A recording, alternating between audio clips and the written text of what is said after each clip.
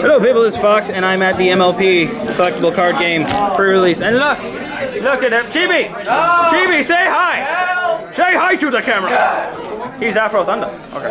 And I'm Sean Connery apparently. Alright, so I got the uh, Rainbow Dash deck to play around with, which you've already seen me open, so I'll open that another time. And I got two booster packs. One is insanely crinkled. So let's open this and see what we get, we?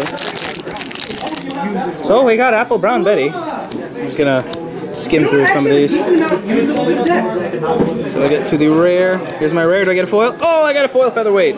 That's going straight in my deck. Sweet. Double end checklist. Did it do and uh, Critter Cuisine? Cuisine. I can't speak today. What's my rare? Oh, and I got a straighten up and fly right rare. I got a foil. That can actually go in this deck, so it's very useful.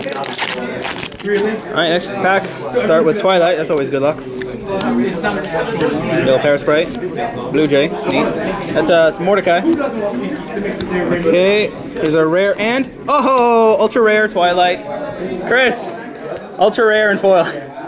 Ultra rare, what you get? Twilight, I got, I got ultra rare Fluttershy. which I actually can't play, but that's pretty neat still. And also we got finish line and this and this and this. All right, so that's it for this. Uh, I'm gonna go fix up this deck so I can go play and maybe win, maybe.